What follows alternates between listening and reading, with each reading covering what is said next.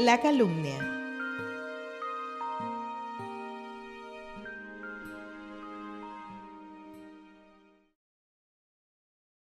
Puede una gota de lodo sobre un diamante caer. Puede también de este modo su fulgor oscurecer. Pero aunque el diamante todo se encuentre de fango lleno, el valor que lo hace bueno no perderá ni un instante y ha de ser siempre diamante, por más que lo manche el cieno.